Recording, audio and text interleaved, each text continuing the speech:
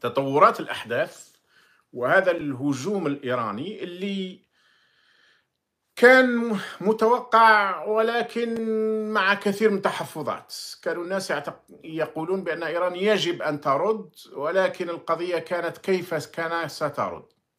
الحقيقة أن إيران أقدمت على كسر ما يسمى بالخطوط الحمر وهي أنها أقدمت على الرد من إيران.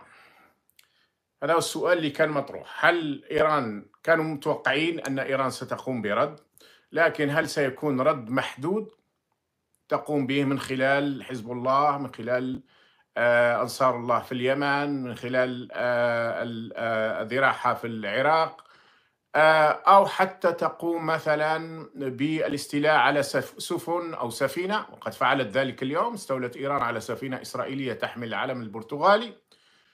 أو وهذا يكون محدود ردا على مقتل مجموعة من كبار العسكريين على رأسهم اثنين من كبار الجنرالات الإيرانيين في القنصلية الإيرانية في دمشق.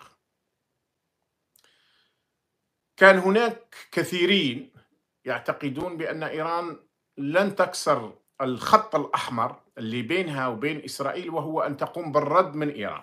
إيران تعرضت لعشرات المرات من آه، قصف إسرائيلي أمريكي أحيانا أيضا لإيران. لكن إسرائيل كي تقصف في إيران لا تعلن عن ذلك. لكن معروف أنها هي اللي تقصف. إيران تعرف أن إسرائيل قصفت وإسرائيل هي التي قصفت والعالم أجمع يعرف ولكن لم تكن تستطيع ترد إيران. خاصة آه، لما قتل علماء للنوويين آه، تدمير بعض المحطات النووية يعني هجومات متعددة. الهجوم على بعض المطارات هذه حدثت قبل سنوات. مقتل بعض المسؤولين حتى داخل داخل إيران. إضافة إلى ما كانت تقوم بإسرائيل من أكثر من ألف هجوم إسرائيلي على إيران في سوريا وحدها. وفي أماكن أخرى أيضا في لبنان قتلت إيرانيين أيضا.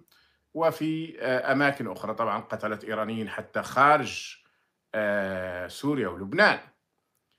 العراق قتلت إيرانيين كثيرين لكن كانت دائما إيران تتخوف من الرد لأنها تعلم أولا أن آه، إسرائيل الكيان الإسرائيلي لديه سلاح نووي. ثانيا وهذا هو الأهم أن الكيان الإسرائيلي مدعوم غربيا ومدعوم أمريكيا بشكل كبير وكبير جدا.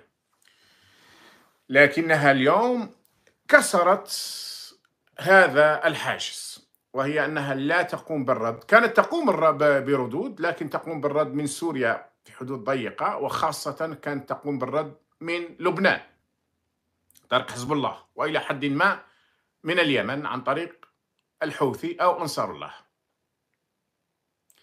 لكن هذا المساء كسر هذا الحاجز إذا شئنا أو هذه الخطوط الحمر. الأخبار تقول من أن آه، هناك مئة طائرة مسيرة أطلقت من آه، إيران وأنها تتوجه إلى الكيان الإسرائيلي إلى فلسطين المحتلة اللي تسمى اليوم إسرائيل واللي إحنا نسموها الكيان الإسرائيلي.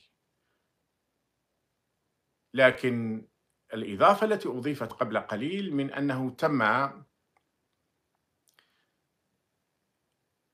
أو أعلنوا رسميا من التلفزيون الإيراني أعلن الحرس الثوري من أنها هنا هجوم بطائرات مسيرة وبصواريخ مجنحة. ليست أي صواريخ. صواريخ مجنحة يعني تستطيع أن تقول هذه هي قمة التكنولوجيا الإيرانية. صواريخ بعض الصواريخ الإيرانية مداها يقترب من 2500 كيلومتر.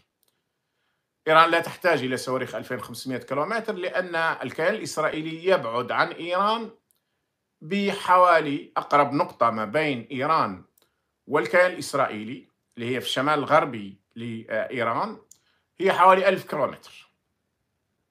طهران مثلا تبعد عن القدس في حدود 1400 كيلومتر.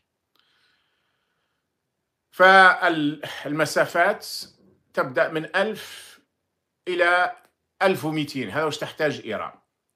لأنها بالتأكيد أن إطلاق هذه الصواريخ والطائرات المسيرة تكون من أقرب نقطة ممكنة.